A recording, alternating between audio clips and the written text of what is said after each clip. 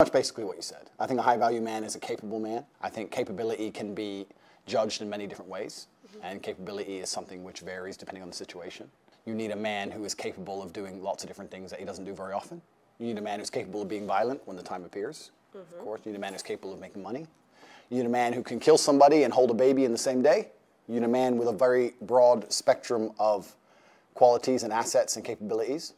And this is actually what the most difficult thing about being a man is. Most people, when I say most people, let me change that. Most females don't respect how difficult it is to become a high value man. Because to become a high value man, you need to have so many different qualities and so many different capabilities. It's a very difficult thing to do. You need to be funny and smart and charismatic and interesting with stories and, and strong and, and rich with a nice car and a nice apartment. Whereas to be a high value female, you need to be hot.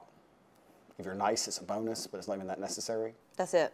If you're a pretty female, even if you're a piece of shit person, you're gonna get messages on Instagram. Yeah.